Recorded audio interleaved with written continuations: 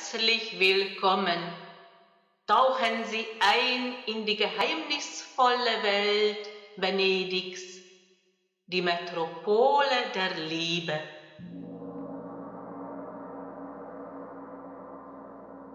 Licht und Schattenorakel. Diese Aufnahme ist eine Beratungsvideo, selbstverständlich anonym. Mein Honorar beträgt 10 Euro. Liebe Arini Diva, ich grüße dich. Das ist dein Licht- und Schattenorakel. Und schauen wir an, was kommt in die kommenden zwei Wochen. Lichtzeit, Glück, Klarheit, Orientierung, Schatten bedeutet die Schattenseite Gefühlen wie Angst oder Einflüsse von außen, was eventuell unangenehm sein könnte. Diese Karten zeigen das Licht und diese Karten zeigen die Schatten. Und wir starten in die gute Seite, also Licht. Die erste Karte hier bedeutet Verlust von etwas, wie ein Diebstahl als Diebstahl. Natürlich ist das nicht schön und nicht angenehm. In diesem Fall bedeutet aber für dich Glück. Und die Karten haben symbolische Bedeutung. Und dieser Diebstahl bedeutet Verlust von etwas. Verlust von etwas, was für dich bis jetzt unangenehm erschienen ist. Das kann Gewohnheiten sein oder Gefühlen wie Angst oder Einflüsse von außen, Kontakte, auch etwas, was dich bedrückt, wo bis jetzt so Kopfzerbrechen ausgelöst hat. Das geht verloren, dass du endlich aufatmen kannst. Die Zahl 7 steht mit Mond in Verbindung und Mond hat einen Einfluss auf die Gefühle, auch auf unserem Unbewussten, auch unserem Träume. Hier zeigt sich auch die Träume. Das kann natürlich bedeuten, dass du gut schlafen kannst oder hast einen schönen Traum oder du lebst deinen Traum, weil die Zahl 7 auch hier und auch hier bedeutet auch Chancen, Möglichkeiten, dass du etwas bekommst, wovon du geträumt hast oder wovon du träumst. Dieses Bild zeigt die Bedürfnis nach Sicherheit, Stabilität und Struktur und da kommt etwas in Bewegung. Das heißt, hier die Feuerelement setzt etwas in Bewegung und du kommst raus aus die Enge.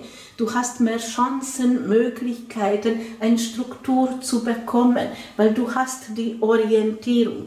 Das kann auch Veränderung sein, dass in dein Leben ändert sich etwas und das führt dazu, angekommen zu sein. Das hat Hand und Fuß. Und die Feuerelement zeigt außerdem, das wird dich auch begeistern. Dieses Bild ist sehr schön. Ich liebe diese Karte. Die Kelchen hier haben einen Bezug zu unseren Gefühlen. Aber das spielt alles ab in die Träume und Fantasie. Aber damit beginnt etwas in unserem Leben, weil wir brauchen erstmal eine Vorstellung von etwas. Und wenn wir das vorstellen können und daran glauben und dann loslassen, dann wird dieser Traum wahr. Und diese Kelchen sind dafür da, mit unseren Wünschen füllen. Jeder Kelch steht für einen Wunsch. Alles, was du möchtest, wovon du träumst. Das sind die Chancen, Möglichkeiten, das auch zum Erreichen auch wenn du noch nicht ins Ziel angekommen bist, aber da bewegt sich etwas. Wo du noch Glück hast, das ist die liebe Partnerschaft. Das heißt, das Ganze, etwas geht verloren, aber das war in dein Leben etwas, was unangenehm war oder was dich bedrückt hat oder die Ängste. kommt einiges in Bewegung, kommt mehr Struktur, wird dich auch begeistern. Alles, was du träumst, hast du Chancen, Möglichkeiten und zeigt sich hier Glück in die Liebe, Partnerschaft. Und jetzt schauen wir die unangenehmen Dinge an und das ist die Schattenseite und das zeigt sich hier dieses Bild. Die erste Bild zeigt hier, du startest etwas Neues. Du bestimmst du eine Richtung. Setzt du auch etwas in Bewegung. Begeistert dich auch, weil hier ist auch die Feuerelement. Aber jemand beobachtet dich oder jemand überprüft dich und das kann unangenehm sein.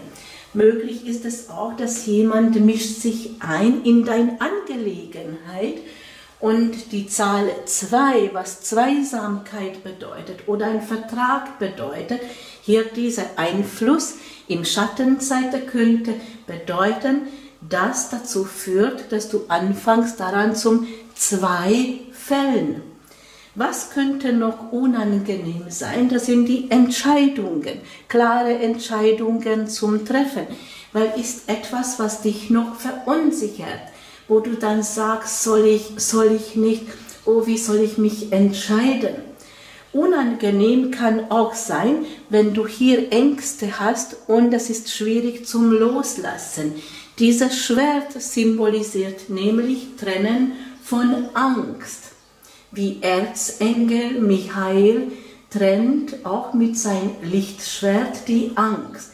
Also es kann solche Momente sein und das zeigt auch deinen Gefühlszustand und diese Mondenergie ist die Wechselhaftigkeit.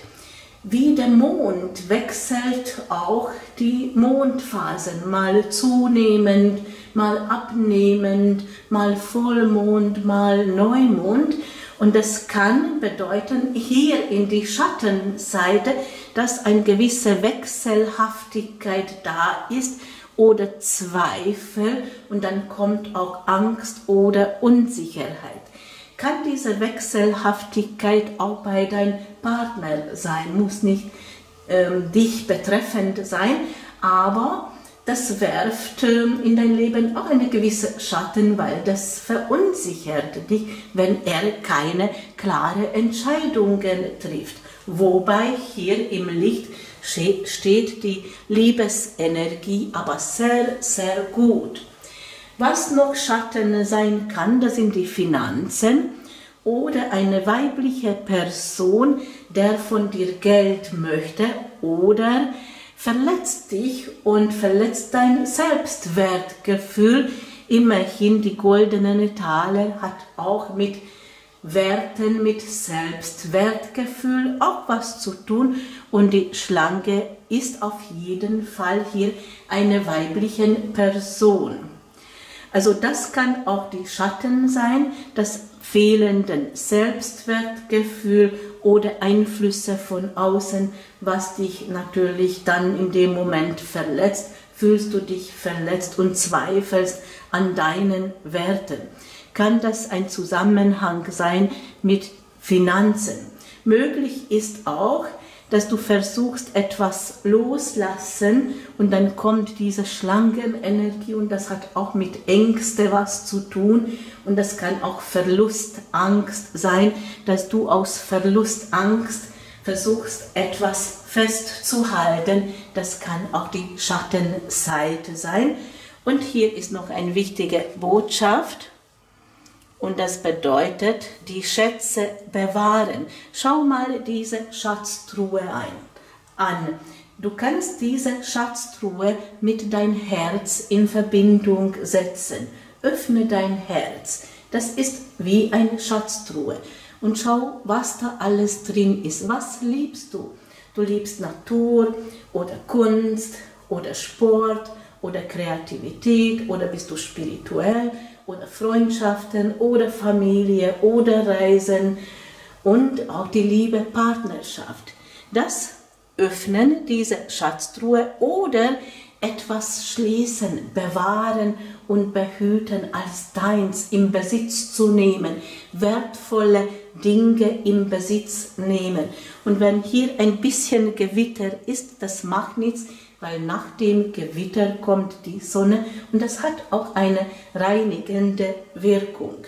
Liebe Arinidiva, so könnte ich Licht und Schatten beschreiben in die kommenden zwei Wochen.